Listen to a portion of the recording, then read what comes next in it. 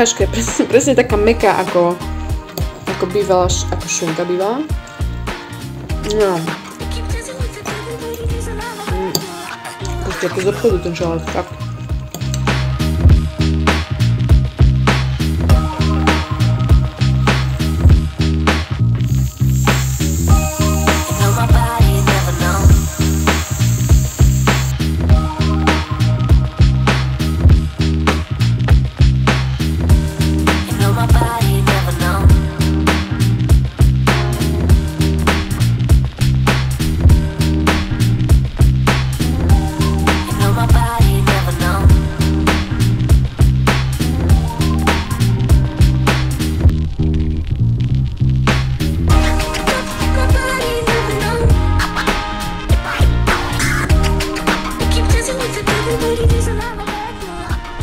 fakt. chceš vidieť viac takýchto videí a ešte krajších trás z našich hôr, ako sú zjazdné a priechodné trasy v lesoch na horách, čo si varím, keď idem na bicykel, alebo ak si prišiel na internet len zabiť chvíľu a chceš sa dozvedieť niečo nové o prírode, zvieratách, či o najviac spoločnosťou potlačených a skrývaných pravdách, na ktoré som prišla, Uisti sa, že odoberáš tento kanál kliknutím na tlačítko odoberať a zvonček, aby ti neušlo žiadne moje nové video.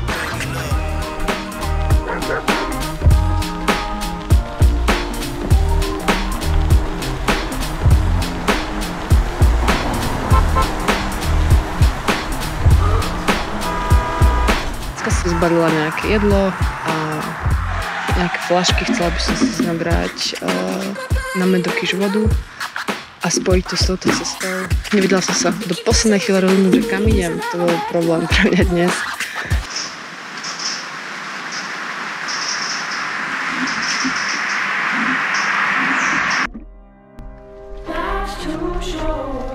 Celosvetovom meradle populárny životný štýl založený na konzumácii mesa a živočišných výrobkov deštruuje našu planétu. Živočišné výrobky vyžadujú vysoké nároky na pôdu, no podielajú sa na celkovom prísune energie a bielkovín len malou časťou. Fakt, že živočišný priemysel, v ktorom sa točia obrovské prachy, a niekto, komu záleží na tom, aby túto neefektivitu skrýval a denodene predstieral pred miliónmi ľudí na svete, že jeho živočišné produkty sú bezpečné a OK, sa pekne nabalí. Každý deň je človek ubezpečovaný, že jeho jedlo je nezávadné a v poriadku. Neefektivita akéhokoľvek živočišného priemyslu vychádza zo sedliackej logiky.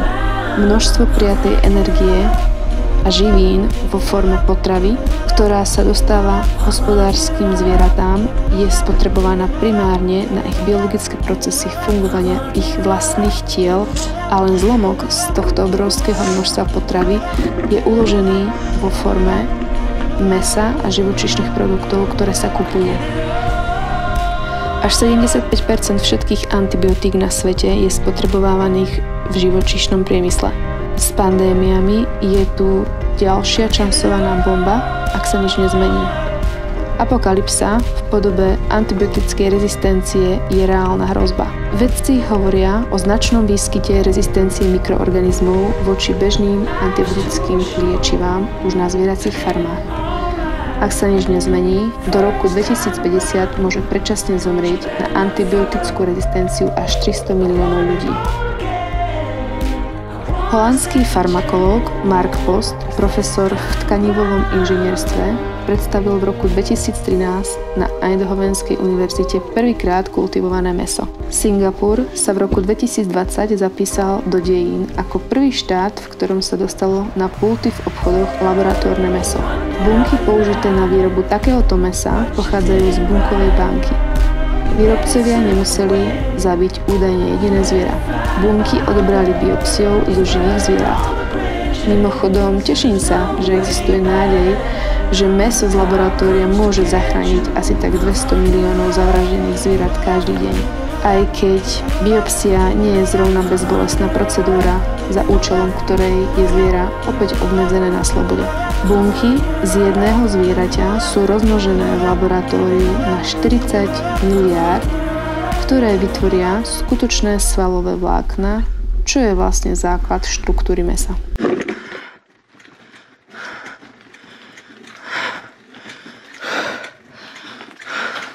Do Kozlinci bola na bicykli asi pred dvoma rokmi. Čakať. No, už budú možno, že aj tri. Asi tak dva roky, dva dačo.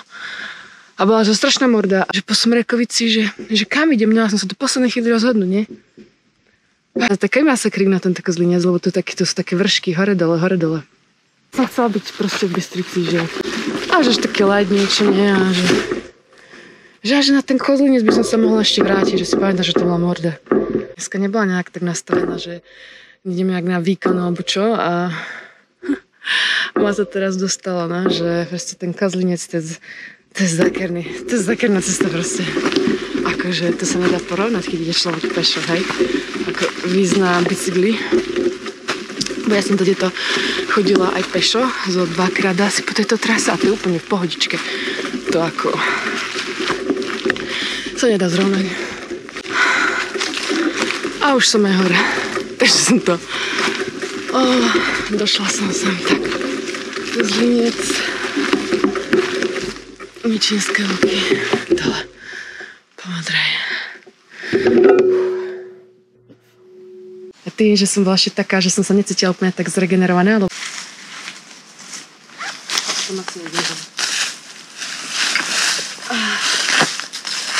som sa chcela zregenerovať ešte dneska, ale som to zase posrala, lebo na kozlinci sa nedá zregenerovať podľa mňa. Na bicykli. Som si blbú trasu iba. Na regeneráciu som si mala dať prechádzku. No ale tak... Na bicykli. Na malom 16 kg bicykli.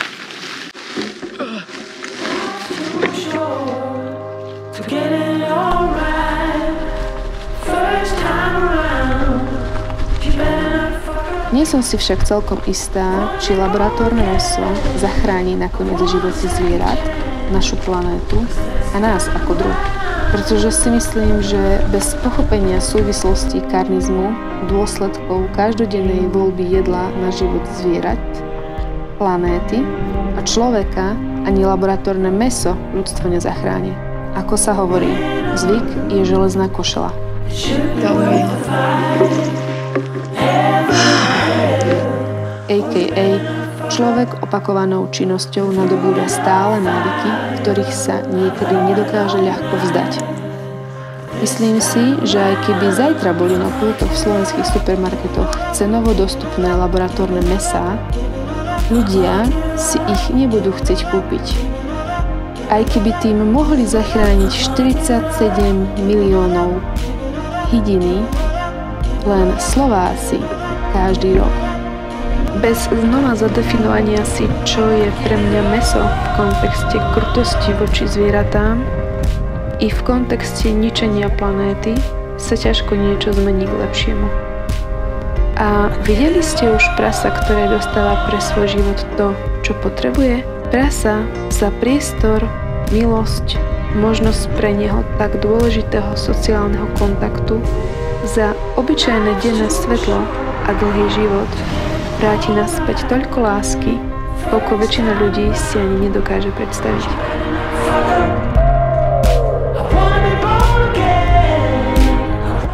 Preboha, to čo to tu je?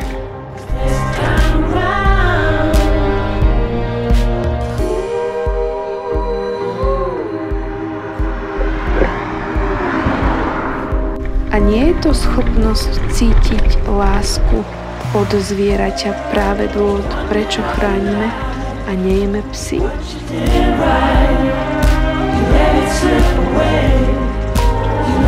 Čauko.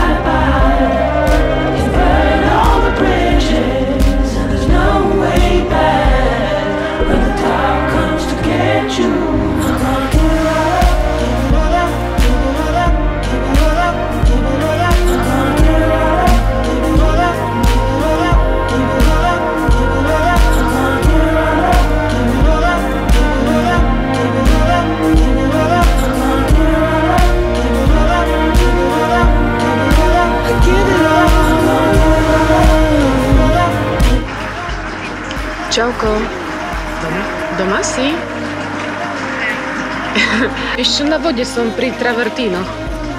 Tak som sa ťa chcela spýtať, hej, bola som si na že či, či sa ti nechce ísť na pizzu do tohto čelína, to už mám iba kúsok, ale na bicykli som.